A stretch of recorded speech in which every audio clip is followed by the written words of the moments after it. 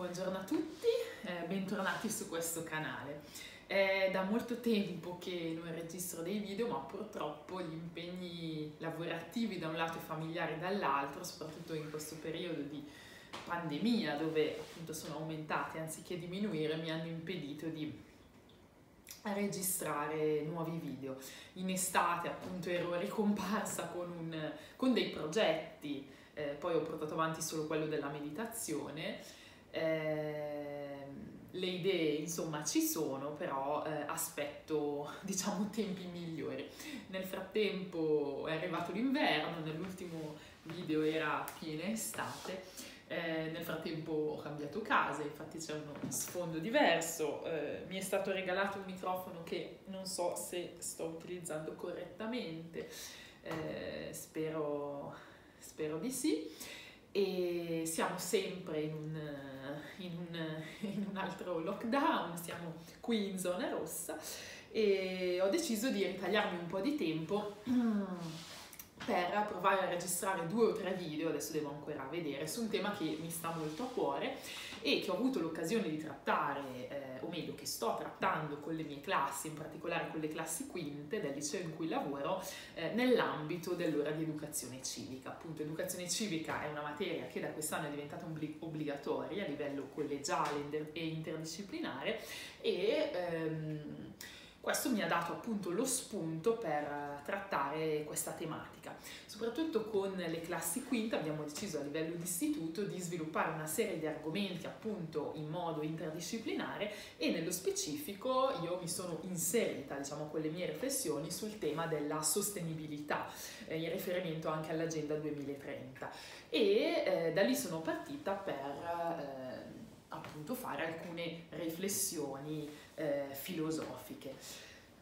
Eh, quindi in questo primo video eh, illustrerò soprattutto ehm, il tema, perché poi non, non, è nemmeno un tema specifico, ma è un insieme di, eh, di, temi, un insieme di questioni che sono tutte legate al fatto appunto della sostenibilità, al tema della sostenibilità e al fatto che siamo tutti connessi, quindi che tutto è connesso, che siamo interconnessi, quindi oggi parlerò eh, soprattutto di questo, eh, dando alcuni spunti, alcuni eh, così esempi. Eh, nella, nel prossimo incontro mi piacerebbe invece eh, sottolineare come ehm, avere una prospettiva olistica e non individualistica sia importante, ma questo non significhi che noi non dobbiamo avere cura di noi stessi, anzi la cura di sé è proprio il primo passo fondamentale per costruire una società più ehm, migliore anche più sostenibile e vediamo se riuscirò a registrare un ultimo video, mi eh, piacerebbe fare alcune considerazioni aggiuntive sul,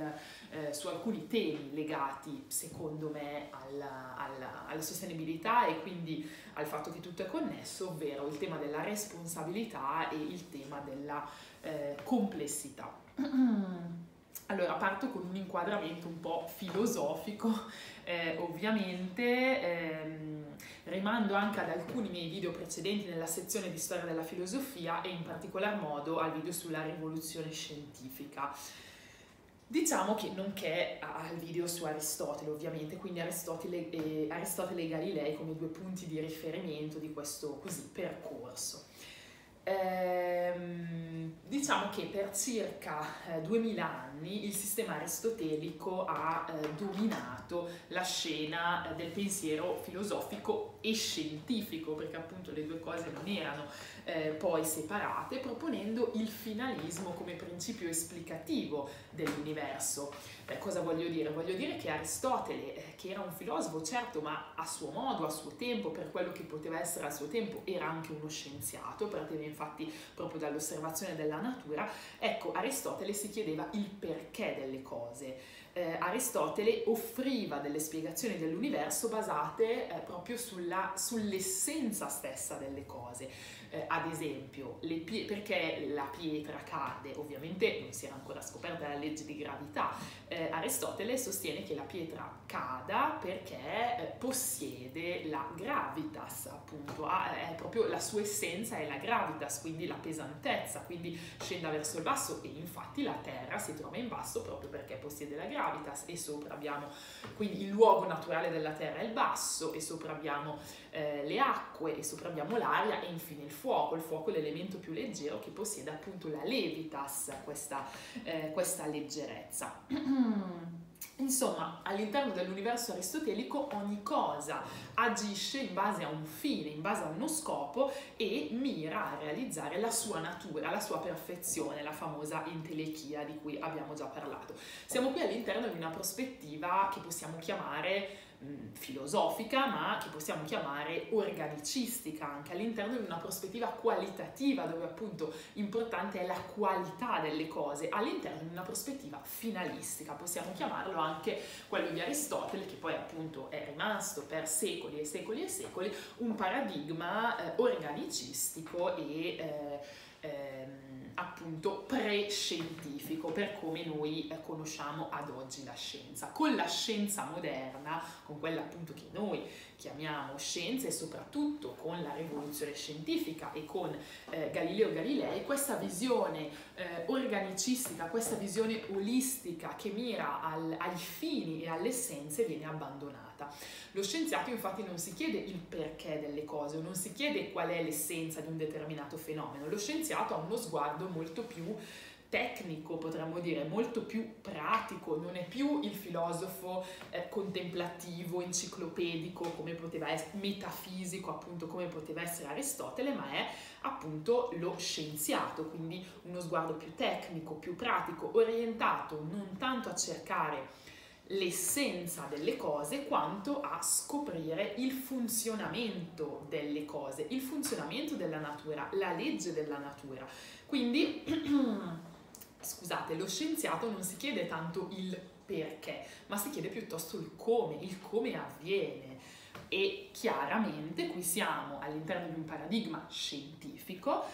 eh, che è un paradigma quantitativo, quindi dove eh, contano le quantità e non le qualità, ed è proprio questa la distinzione fondamentale anche tra la magia, da cui anche la scienza nasce, eh, e eh, la scienza. Eh, è un paradigma di tipo matematico, infatti Galileo Galilei diceva che la natura è un, scritto, è un uh, libro scritto in linguaggio matematico, quindi non è comprensibile da chiunque,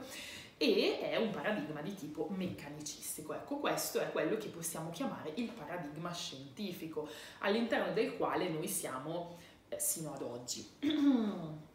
Diciamo che il paradigma scientifico si è dimostrato sicuramente vincente, si è dimostrato vincente da tanti punti di vista. È eh, solo grazie alla scienza e alle sue applicazioni che l'uomo ha potuto migliorare le, condizioni di, le sue condizioni di vita, le condizioni del genere umano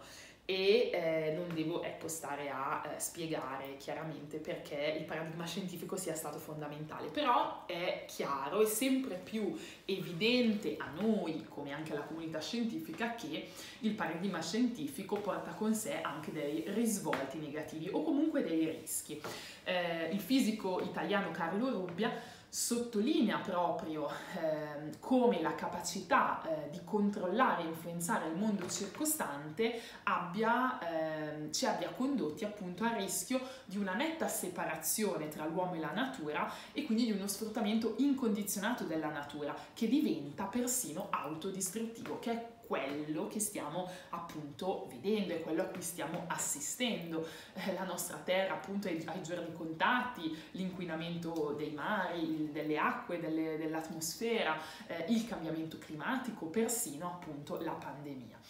Possiamo dire che eh, il modello antropocentrico, ovvero quel modello scientifico che mette comunque al centro l'uomo, quindi il modello antropocentrico che, considera l'uomo eh, signore incontrastato della natura, padrone della natura, quel modello che si è affermato proprio a partire dalla rivoluzione scientifica, da alcuni, eh, insomma, da un po' di tempo, comincia a essere eh, messo in discussione da chi ehm, cerca di riprendere anche la prospettiva precedente e quindi di unire alla prospettiva scientifica che naturalmente non deve essere abbandonata ehm, una prospettiva più olistica, più eh, organicistica, quindi riprendere un po' la prospettiva eh, così degli antichi che ci ricordano comunque che l'uomo è parte integrante della natura, quindi l'uomo non è qualcosa di diverso dalla natura che può quindi sfruttare la natura senza poi che si ripercuotano su di lui delle conseguenze, ma l'uomo è parte della natura eh, naturalmente, è parte integrante di un equilibrio che bisogna salvaguardare, è l'equilibrio che bisogna salvaguardare, non tanto l'uomo. E infatti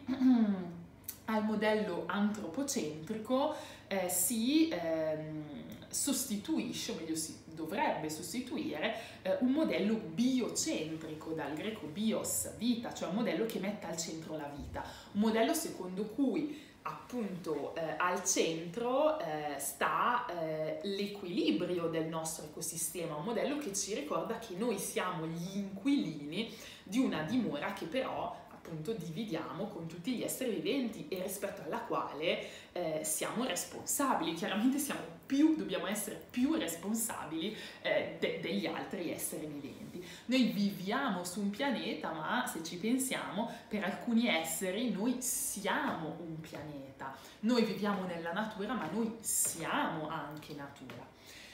Ecco, ehm, io credo che ehm, per tornare anche agli obiettivi così di educazione civica, io credo che un cittadino eh, consapevole nel 2021 eh, non possa prescindere dalla scienza, cioè debba essere chiaramente fedele alla scienza, ma ehm, debba avere anche uno sguardo eh, così più ampio, più olistico e eh, a ben vedere è la scienza stessa che ci ricorda questo, comunque quanto sia importante avere uno sguardo eh, più ampio che tenga conto della connessione del tutto. Ora, io non sono assolutamente esperta in fatto scientifico e non voglio ehm, fingermi tale, eh, però chiaramente... Ehm, eh, la fisica quantistica ci ricorda quanto tutto sia connesso, eh, fenomeni come appunto l'effetto farfalla piuttosto che eh, l'entanglement, cioè ci ribadiscono questo, ma eh, dal punto di vista scientifico appunto questo in un certo senso, ehm, in un senso meno provato scientificamente, eh, ma questo sentire appunto c'era già eh, nella, nella, scienza, tra virgolette, degli antichi, c'era già nella medicina degli antichi, se pensiamo per esempio a Ippocrate, il medico sul giuramento, insomma, rivisto del quale i medici attuali ehm, eh, appunto fanno il loro il loro giuramento, eh, Ippocrate ci ricordava che la salute dipende proprio da, ehm, da un, dall'equilibrio eh, che è interno a noi ma è anche esterno a noi, per cui dipende certamente dai quattro umori, da come questi umori sono, eh, si trovano nel, nel, nostro corpo, ma dipende anche eh, appunto da quello che noi ehm, troviamo all'esterno di noi, quindi nell'anamnesi eh, Ippocrate chiedeva per esempio dove eh, abita il paziente, dove abitava, com'era la sua casa, com'era l'aria, com'erano le acque, ma anche com'era la sua comunità, cioè se vi era serenità attorno a lui o meno. Ecco, eh, se eh, ci pensiamo bene, eh, questa esperienza della connessione del tutto è un'esperienza che noi comunque facciamo continuamente, ovviamente su vari piani, su vari livelli, pensiamo anche semplicemente a quando c'è qualcuno eh, vicino a noi che non sta bene e noi in qualche modo ne siamo, ne siamo coinvolti. E è più normale, più comprensibile pensare a qualcuno vicino a noi che non sta bene, a noi che, non, che ne siamo coinvolti, è più difficile pensare a qualcuno lontano da noi, dall'altra parte del mondo che non sta bene, è più difficile sentirsi coinvolti. Ma eh, questa circolarità c'è comunque, la terra non sta bene e gli effetti arrivano comunque su di noi. E di questa circolarità, di, questa, ehm, di questo fenomeno proprio della connessione, ehm, facciamo esperienza, abbiamo fatto esperienza anche e stiamo facendo esperienza anche durante questa pandemia, cioè chiaramente se noi non fossimo stati così connessi da un certo punto di vista, non sarebbe, questa epidemia non sarebbe diventata una pandemia, probabilmente. Scusate.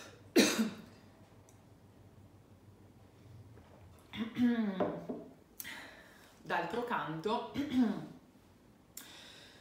quello che sta succedendo ci sta anche facendo riflettere o dovrebbe farci riflettere su appunto sulla nostra responsabilità e su quella degli altri, cioè noi dobbiamo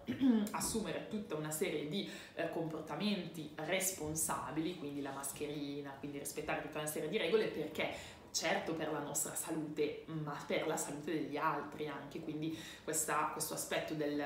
della connessione, dell'interrelazione è eh, secondo me venuto alla ribalta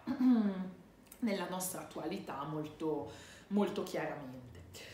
Ecco, se nel prossimo video mi piacerebbe così ehm, attraverso la filosofia mostrare come eh, abbandonare una prospettiva individualistica non significhi però smettere di pensare a se stessi, ecco. Eh, invece adesso volevo così fare riferimento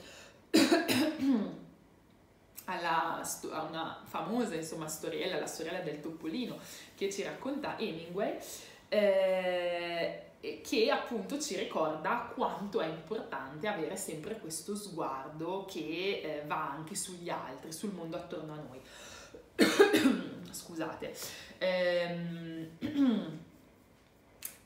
appunto Hemingway eh, ci racconta di questo topolino che eh, vede dalla fessura eh, di un muro che il contadino e sua moglie hanno comprato una trappola per topi e così va ad avvisare gli altri animali eh, presenti nella fattoria, quindi il gallo, il maiale e eh, la mucca. Diciamo che tutti e tre sono abbastanza disinteressati, nella migliore delle ipotesi forse il maiale dice va bene, eh, pregherò per te, ma comunque questo non mi riguarda. Eh, gli altri se ne fregano, cioè sostanzialmente la trappola per topi è un problema tuo. Succede poi che il serpente viene preso nella trappola, la moglie va pensando che sia il topo, in realtà c'è buio e non vede che è un serpente, viene morsa dal serpente e le viene una febbre molto alta. Ecco che nella tradizione popolare, ci racconta l'autore, eh, per placare la febbre molto alta serve un eh, brodo, una zuppa di pollo ed ecco che eh, il pollo viene ucciso per preparare la zuppa. Successivamente la moglie non si rimette, poi arriverà addirittura a morire, a casa arriveranno primi parenti, poi gli amici, poi tantissima gente per il funerale e il contadino sarà costretto a macellare prima il maiale e poi eh, il, la mucca per dare a tutti da mangiare. E appunto l'autore conclude dicendo e il topolino guardava dalla fessura nel buco, dalla, dal buco del, nel muro appunto questa scena molto triste, la solitudine insomma eh, del contadino e eh, conclude proprio dicendo, riprendendo delle parole che eh, ci sono eh, in una poesia di John Donne, poeta del Cinquecento, ehm, appunto Hemingway dice non chiederti mai per chi suona la campana, da qui anche il titolo appunto del romanzo, eh, essa suona sempre anche per te. Come dire, quando uno di noi è colpito siamo tutti a rischio, siamo in qualche modo tutti coinvolti. Secondo me questa storiella è, è efficace. La sostenibilità è eh, al centro, almeno in linea eh, teorica, delle eh, varie politiche internazionali, però eh, è al centro anche ehm, delle, dire, delle, linee guida anche eh, delle, del, delle, grandi religioni. Per esempio è eh, presente questo tema è proprio centrale, quello della sostenibilità, è centrale nell'enciclica che Papa Francesco ha scritto e pubblicato nel maggio 2015, eh, Laudato Si. L'enciclica Laudato Si, anche qui senza volermi addentrare a fare alcun tipo di analisi, è proprio un'enciclica sulla cura della casa comune, cioè della casa che noi condividiamo con gli altri esseri viventi. E Papa Francesco ci ricorda ehm, l'importanza di considerare la natura eh, come eh, appunto proprio fondamentale per noi, no? come la nostra ehm, cioè, matrice, non come così una cornice estemporanea delle nostre vite. Eh, chiaramente questo tema si ritrova anche in moltissime, ehm, moltissime opere, opere cinematografiche, opere letterarie, naturalmente appunto un esempio è Hemingway, ma ce ne saranno sicuramente, insomma Hemingway è il primo che mi è venuto in mente, perché questa storiella gira un po' di questi tempi anche sui social e mi è sembrata efficace, però ce ne sono molte altre, ci sono anche appunto dei film, penso per esempio a Cloud Atlas, non so se, se qualcuno di voi l'ha visto, è un film abbastanza eh, complesso, eh, appunto è una sorta di storia epica del genere umano nella quale appunto le azioni eh, dei personaggi hanno delle conseguenze eh, sul, sul, presente, sul passato, sul futuro di altri personaggi. Eh, è, una, è, un grande racconto di, anche se volete, di reincarnazione. Eh, c'è un po' questo tema, ma sono appunto sei storie che si intrecciano a dimostrarci la complessità del tutto, ma anche ehm, appunto questa connessione del tutto, c'è proprio questa grande verità che viene eh, ripetuta eh, soprattutto verso la fine del film ed è proprio tutto è connesso, cioè questa è la, la grande verità che bisogna imparare anche attraverso magari storie di dolore eccetera, lì ci sono sei storie che si intrecciano tra di loro, ma è un film che ho visto anche tempo fa, non, che non ricordo neanche, neanche benissimo, però c'è proprio questo tema centrale della connessione del tutto. Ma se pensiamo anche a un altro film, insomma ormai non recente, però Avatar che io ho rivisto, non che ho rivisto, che ho visto in realtà recentemente,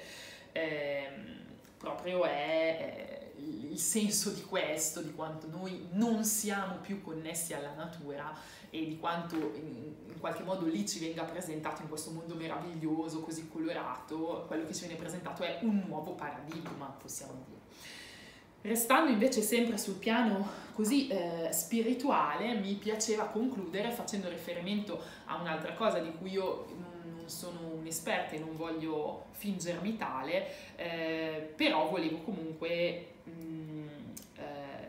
focalizzarmi brevemente sul concetto di karma, nel senso che non è eh, questa cosa della connessione del tutto, non è presente solo nella religione cattolica, anzi forse è molto più presente in altre religioni, in altre filosofie di vita, soprattutto quelle orientali. Ecco, il termine karma è un termine che spesso utilizziamo a sproposito, comunque nel linguaggio comune, quasi ad indicare una grande sfortuna che mi è capitata, è, è stato il karma. Eh, chiaramente il karma è un concetto più complesso che io stessa non, eh, ovviamente non so, cioè non, non, conosco appieno, ma è un concetto che risale all'Upanishad praticamente, quindi al, eh, già all'ottavo secolo a.C. e che oggi è centrale, poi declinato anche in modi diversi nella filosofia buddista e in quella eh, induista. Però cercando di andare proprio al, all'essenza, il karma è il principio di azione e reazione, quindi il principio di equilibrio universale, eh, poiché appunto è il principio che ci ricorda che ad ogni nostra azione corrisponde appunto una reazione, quindi eh, ciò che noi facciamo influenza gli altri, ciò che gli altri fanno influenza noi. Ecco, eh, in base a questo pensiero dobbiamo ricordarci che ogni nostro contributo eh, influenza il tutto, quindi noi in qualche modo, anche se siamo piccoli piccoli rispetto all'universo e possiamo apparire anche insignificanti a noi stessi, in realtà la nostra presenza o meno, la nostra, ehm, la nostra azione o meno influenza comunque il tutto. Ed è per questo, e questo sarà poi il tema del prossimo incontro, che noi dobbiamo lavorare su di noi, perché chiaramente se dentro di noi c'è calma, noi facilmente percepiremmo, percepiremo calma anche fuori di noi e saremo in grado di trasmetterla. Se dentro di noi c'è caos, eh, eh, allo stesso modo percepiremo fuori caos e eh, trasmetteremo in qualche modo caos.